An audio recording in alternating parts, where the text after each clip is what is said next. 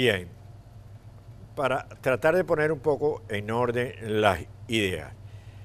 Aquí llega la gasolina y no es que la gasolina se lleva, se almacena y se vende, sino que aquí entra un proceso de un tipo de venta a un tipo de valor por ciertas bombas, otro tipo de valor para otras bombas. Luego, la que cambia dependiendo del vehículo que se trate. Es decir, es algo muy complejo, pero que siempre permite que haya corrupción, facilita el mecanismo turbio y además, vital, el papel del gobierno es fundamental en manipular al ciudadano. De hecho, eh, uno puede ver en la red cuánto cuesta el valor de la gasolina en Irán y cuánto va a costar en Venezuela. Entonces, eh, la pregunta, eh, Luis, que uno se hace es, ¿esto a la larga es un beneficio para la colectividad o es una alcabala más que complica la vida del ciudadano en Venezuela? Sí, este, quizás valdría la pena eh, también eh, eh, aclarar la profundidad de esta desgracia, porque Venezuela desde hace tiempo, desde hace mucho tiempo, tiene unas cuantas refinerías de gran capacidad. Amuay, Cardón, El Palito, Puerto La Cruz y Amay,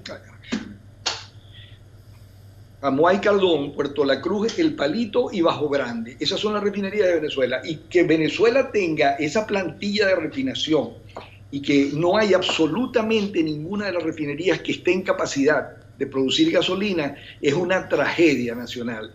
¿Y quién termina pagando esto? Bueno, por supuesto que el pueblo, ¿no? pero al mismo tiempo la, la patria misma, porque hay que estar acudiendo a, inclusive a países que no son ni siquiera de este hemisferio para traer gasolina y comprar esa gasolina para vendérsela al pueblo. De tal manera que lo que tú dices es absolutamente cierto. Esto es eh, proclive a em, quizás a fraude, a vagabundería, a todo lo demás, porque no hay un criterio formal que vaya a ser acatado por este gobierno, porque al fin y al cabo con esto tienen, una vez más, tienen al, pueblo atendiendo la gasolina y no pensando en cómo liberarnos de este régimen a lo largo del tiempo.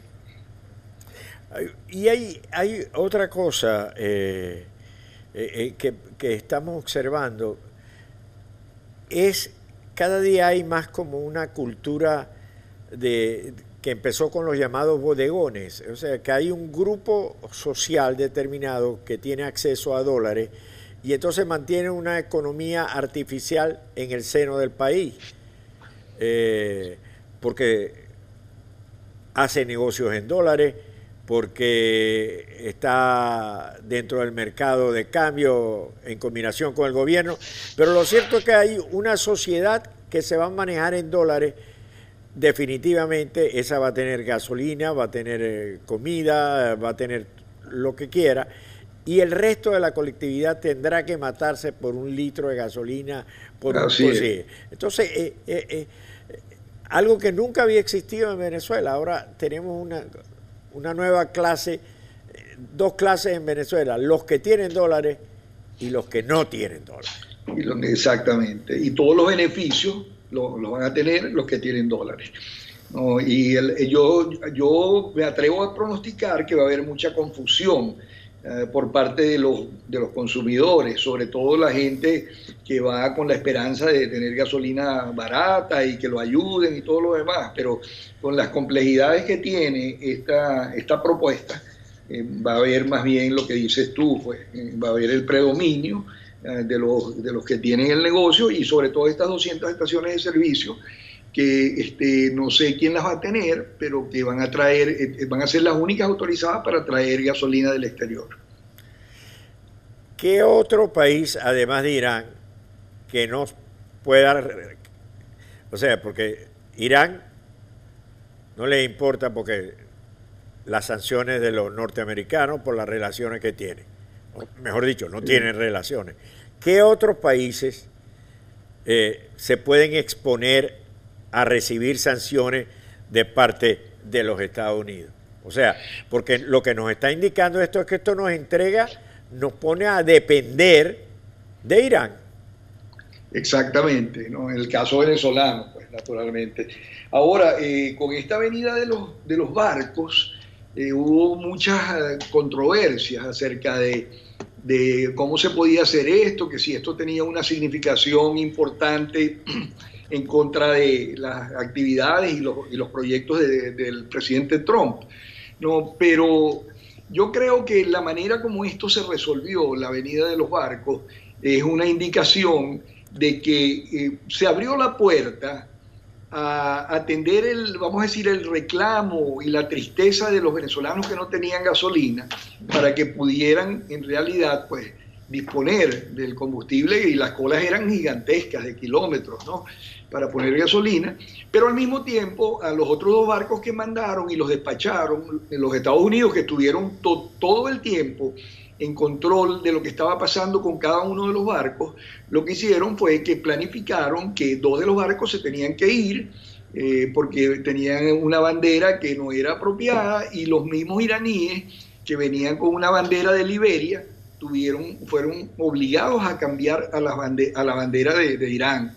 O sea que los Estados Unidos estuvieron muy atentos a lo que estaba pasando allí y yo creo que, en definitiva, eh, el presidente Trump muy consciente de lo que estaba pasando, pero al mismo tiempo que muy ocupado con otras cosas eh, bastante complicadas aquí en, su territorio, y de ahí que se hizo más o menos, vamos a decir, el empeño en la obra de caridad, que era dejar pasar a los tanqueros, pero también al mismo tiempo dando el mensaje que eso lo podían hacer bajo el paraguas que los Estados Unidos les estaba ofreciendo no hay perspectiva de que mejore eh, el mercado petrolero venezolano, la explotación petrolera, ¿no, Luis?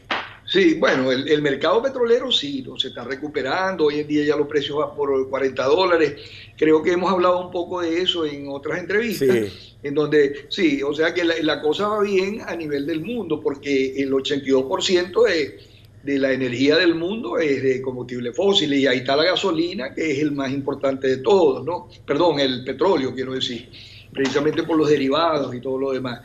Pero eh, en Venezuela la esperanza es muy remota, porque mientras estén las cosas como están en Venezuela, es muy difícil que el país pueda rescatar su economía. Eh, de todas maneras, eh, yo creo que sí hay eh, posibilidades de un rescate de la industria petrolera venezolana, porque eh, el país tiene una cosa que es muy codiciada, que son las reservas petroleras.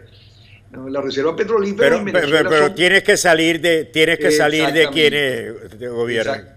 Exactamente, ¿no? Este, una de las cosas es que PDVSA, que es una empresa que es una empresa integrada con todas las de la ley, con ramificaciones en el mundo entero, refinerías internacionales, este, operaciones internacionales, eh, y ahora la están convirtiendo en un ente de distribución de gasolina y no, y no de producción. Y además de gasolina importada y además de gasolina importada, exactamente. ¿no? Entonces, eh, las cosas en el mundo de, de, la energía se están recuperando y yo creo que se van a ir rescatando y probablemente de aquí a antes de fin de año las cosas estarán mucho mejor, pero definitivamente Venezuela no va a estar mejor porque va a seguir bajo esta condición, este yugo y, esta tiranía que básicamente dice, aquí está esto, que te lo preparamos para que tengas pues, comida, para que tengas esto, para que tengas gasolina, pero la gente en el fondo tiene un nivel de vida, bueno, miserable. Cada día peor. Eh, sí. Bueno, muchísimas gracias, eh, eh, Luis Justi. Pues, volveremos a hablar de acuerdo a los vaivenes de la industria del petróleo y, y del comercio de la gasolina. Gracias, Luis Justi gracias, Leopoldo. Me voy antes del corte con una ah, noticia de AFP que señala que en Bolivia ya el ente electoral fija elecciones para el mes de, eh, para el 6 de septiembre. De manera que Bolivia, elecciones el 6 de septiembre. Hacemos una breve pausa y seguimos con ustedes.